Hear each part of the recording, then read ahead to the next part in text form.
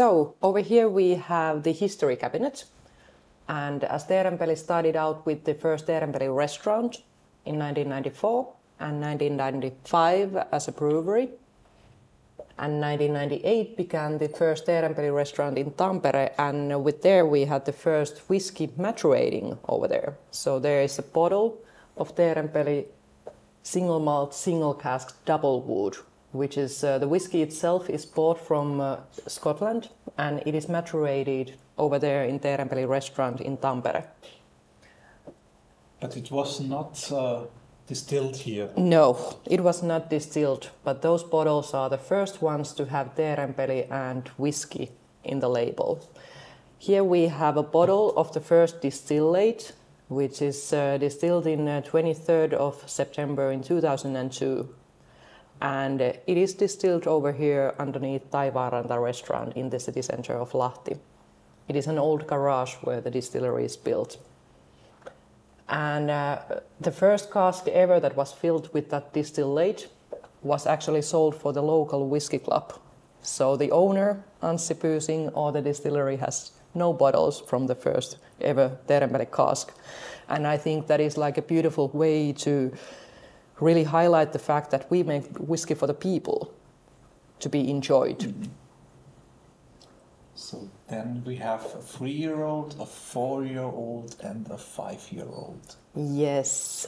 Since 2005, we have had the whiskies, and uh, Teerenpeli restaurants have been the main outlet for the selling also.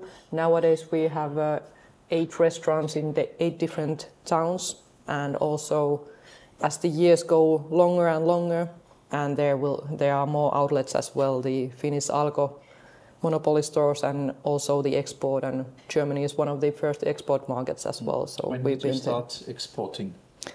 Uh, the exporting has started like in small amounts uh, quite early. I'm actually not aware of the first years, but uh, for the Germany we've been exporting continuously since 2016 and some smaller batches before that probably shows another uh, important bottling in here. What, what would you say is?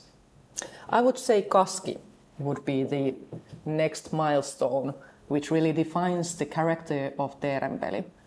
Uh, the original Kaski was uh, bottled for our owner's father-in-law's 60th birthday, and it is still up to date Anssi's uh, favorite whiskey. It is 100% sherry maturated and 43% of alcohol. Oloroso and Pedro Ximénez casks over there. So it was supposed to be a limited edition actually. And uh, all the bottles were numbered, but when the number numbers on the labels hit 30,000, so the guys decided like, yeah, we will just keep it in the core range. it is not a limited edition anymore because it is it was all the time we had they had to use the numbers over there.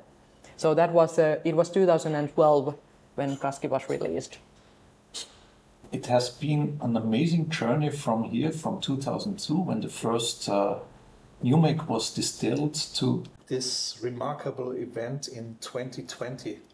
You received a very big honor, right? Yes, uh, we were awarded as the worldwide whiskey producer at the International Wine and Spirit Competition in 2020, and it is an I always get the chills when I talk talk about it because we really highly appreciate it. It is an invitational competition, so you cannot apply over there. And we got over there because of the overall quality of our products. And it is huge honor that we are the proud worldwide whiskey producer of 2020.